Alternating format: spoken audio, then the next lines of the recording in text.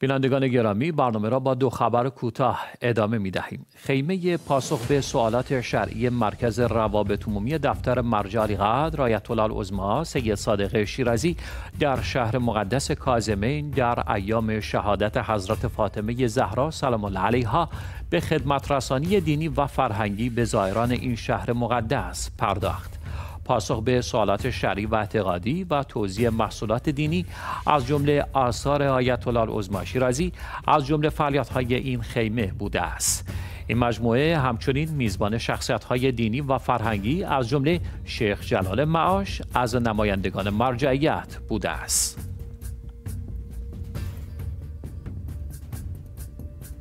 دانشجویان خوابگاه سلطان المعلفین از مراکز مرتبط با دفتر مرجع قدر آیت الله سید صادق شیرازی در شهر ماهاجنگا در کشور ماداگاسکار.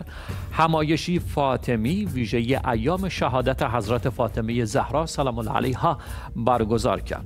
این همایش با حضور جمعی از دانشجویان شیعه همراه بود و طی آن به بیان فضائل و مصائب حضرت فاطمه زهرا سلام الله علیها پرداخته شد.